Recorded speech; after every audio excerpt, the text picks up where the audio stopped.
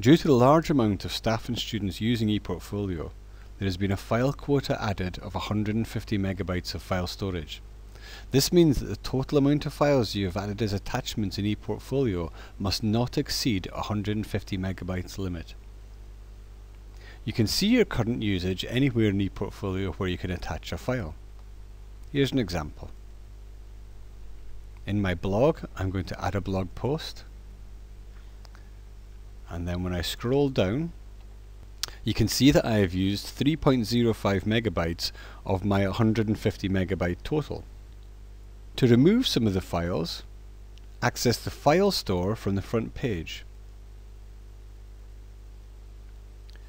The list of files currently in the ePortfolio is displayed alongside the context of the attachment. So for example, I can see this document called bfr.doc is attached on a blog post called test.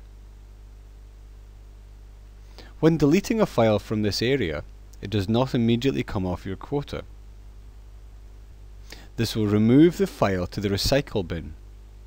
The recycle bin is a safety net in case it deletes something in error and files can be restored from here using the restore button.